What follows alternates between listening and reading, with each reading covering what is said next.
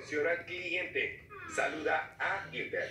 Gilbert, ¿por qué se llama así?